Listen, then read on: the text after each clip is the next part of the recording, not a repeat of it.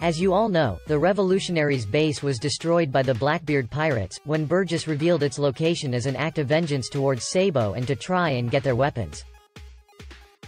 As we know from Aokiji's appearance in Punk Hazard, he's not affiliated with the Marines or world government anymore, but he's on the other side.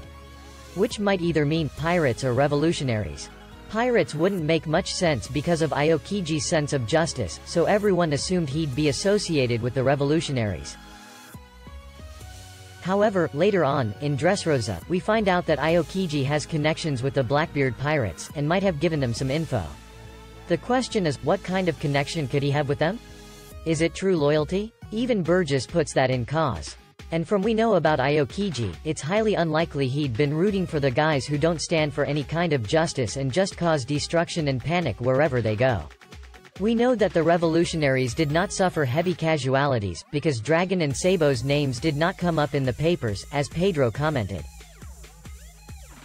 So the main theory is that they somehow got away. But what if Aokiji, knowing about Blackbeard's plans because he is associated with them, and perhaps being a big Uncount player on the revolutionary side, warned Dragon about Blackbeard's intent to attack Baltigo? I'm not saying Blackbeard knows about Aokiji's association with the Revos, because if so Blackbeard would never let that information leak to Aokiji, but if Aokiji is on the other side of the grass, where it's greener, then he may just be helping the Revos and playing double agent on Blackbeard's crew, and ended up saving the revolutionaries.